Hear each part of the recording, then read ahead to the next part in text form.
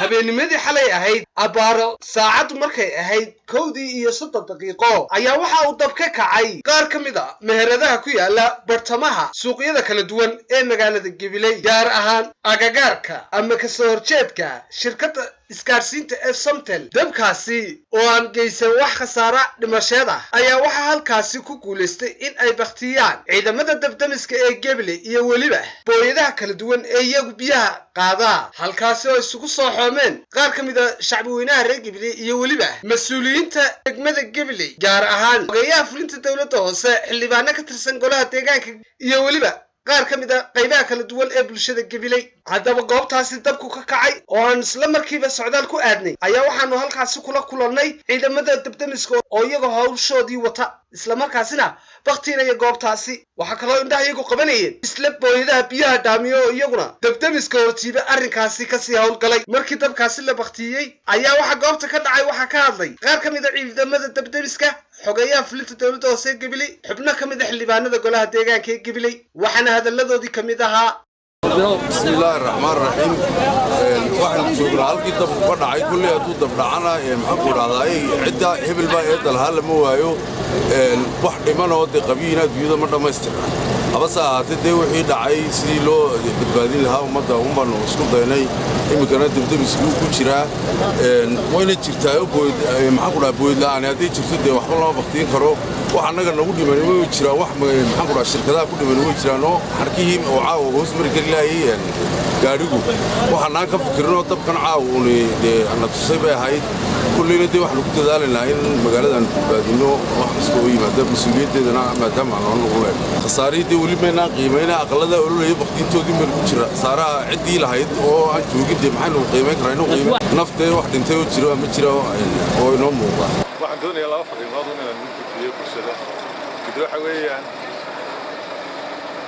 isku tashiga iyo maxaan ku dhaha wax wada qabsiga wuxuu qayb ka yahay horumar marka wixii naga dhiman waa arrin u yaalla bulshada iyo deegaanka reer gudub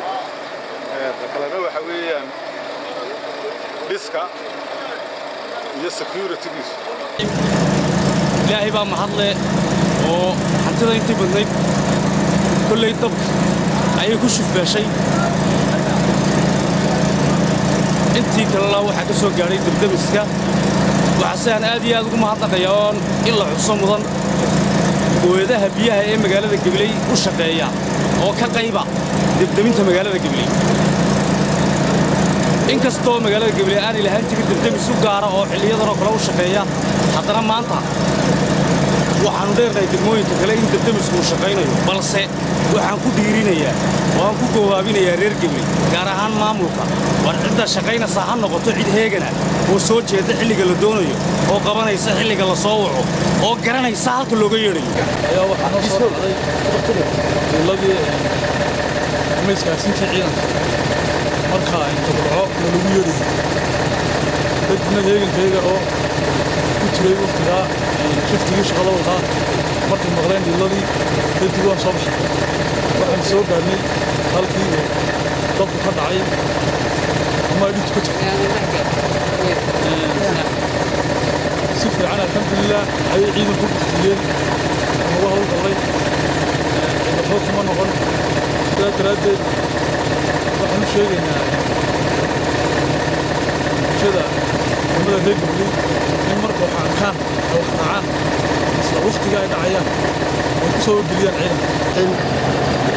ilaahay mahadiyaa inaan ka soo gaadhay ciidankii dabdamiska oo heegan ahaa isla markaana baktiyey agagaarka somtel ka. Soo hor jeedda wax dhibaatayna kuma dhicin wax dadoo ku dhintayna ma jiro waxaa ilaahay mahadiya in hawshaasi?